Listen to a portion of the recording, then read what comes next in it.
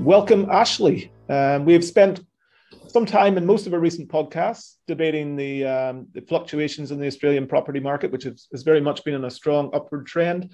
And I thought it'd be beneficial for this month's quick take to focus on, I guess, a little bit on what has driven the property market in terms of the recent 18 months in particular, but also what you see as the outlook from here, particularly on the core Australian property markets of Melbourne and Sydney. Well, that's uh, that's a good intro. Thanks, Vinny. Um, we did I did, did, quite a bit of work on property over many many years, but because uh, I like I like fundamentally I like property, residential property in particular in Australia. Uh, did a bit of work on the last monthly report covering lots of aspects of property and the valuations and where they come from and the debt levels, etc.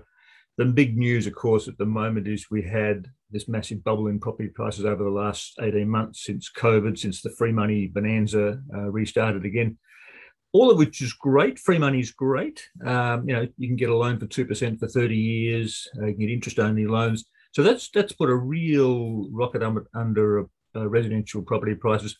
So with the RBA committed to keep rates at zero for years, nobody believes they'll do it, but they're, they're, they're keeping promising to keep rates at zero for at least say three years time until middle of 2024. Even if they start to raise rates earlier than that, it'll still be a year or two. Um, so they're not allowed to raise rates. They've committed themselves. They're waiting for wage inflation, which is slow to come through. Um, so meanwhile, APRA, who's the regulator, the bank regulator, uh, in 2004 14, they brought back lending controls to try and control lending growth for banks, to try and control the interest only loans, to try and control the investor loans, to try and take the heat off the market. What, are the, what are the main levers that they employ to do that? Well, in that case, it was limiting the, the volume of loans and limiting the percentage of interest only loans and the percentage of investor loans. So they did that in 2014. rules on the banks to say this but, only this portion of your total balance sheet and loans can be investor or interest only loans. That's right. So they they used those old style banking controls while the RBA was frantically cutting rates. Uh, they used the controls to actually restrict lending to housing, which it did, and it, that ended the bubble in 2014. You had a nice sort of flattening off and a bit of a dip.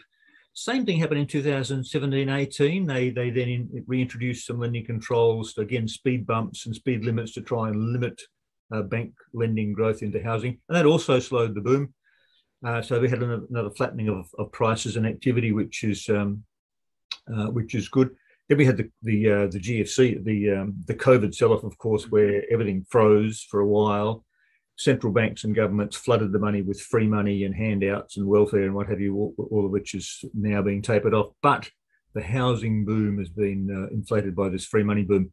So um, the uh, you know I, I, wrote a story that uh, and I've, I've, in past monthly reports I've shown you actually my statement from Advance Bank in the late 80s showing how interest rates went from 13 to 14 and a half to 15 to 16 to 17 to 18 percent in my home mortgage in 1989 and put that into context your level of mortgage was my level of mortgage was two hundred and forty thousand dollars, and I was earning. My wife and I were earning around about a hundred thousand dollars each. So that was that. The interest on that was three and a half thousand dollars per month mm. on a two hundred forty thousand dollar mortgage. My daughter this year, early this year, borrowed four hundred and seventy five thousand dollars. She put in about one third equity, one third cash. She borrowed four seventy five thousand dollars, which is twice what I borrowed. But the interest on that interest only loan, which I couldn't get back then, is only seven uh, nine hundred and seventy dollars. It's about one fifth of yeah. the monthly cost in her pack pocket for borrowing twice as much what I did uh, uh, 25 years ago, 30 years ago. Um, so that gives you an idea of the sheer amount of money you can borrow now. That's why house prices are so high because there's so much debt. People's borrowing capacity relative to their income, albeit it's worth touching on APRA again have then gone back to this area and started to look at okay, well, how do we put some sort of brakes on the market? And the so area that they've gone for is your borrowing capacity again, but looking at a bit different this time. So the, this time around, uh, APRA's got a bunch of basically governments uh, for many decades controlled lending growth from banks to as a way of controlling the market. Deregulation in the 80s took away that, but uh, in 2014, 2018, and again last month, APRA the regulator has started to control directly, put their hands into the banks and say, you can and can't do this.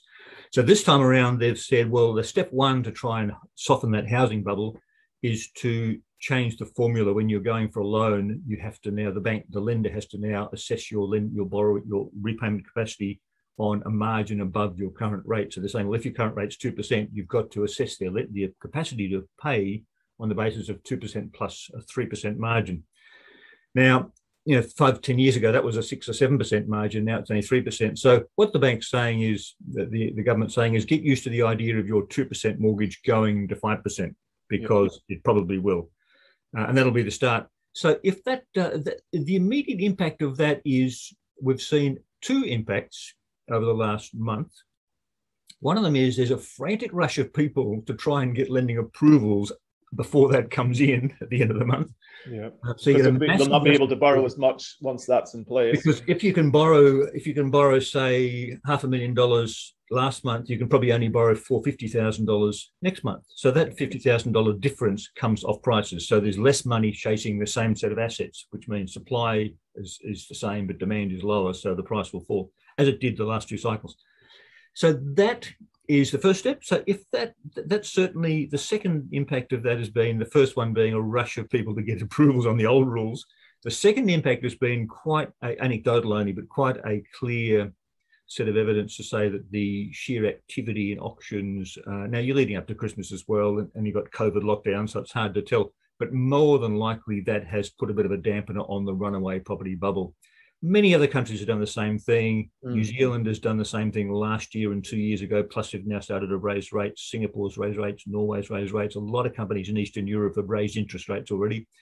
The Fed in the US will start to raise rates in the next few months. They'll start to pay off the to, to slow the QE um, bond buying program first, and then probably next year we'll see a one or two rate rises out of the US, which will flow around the world.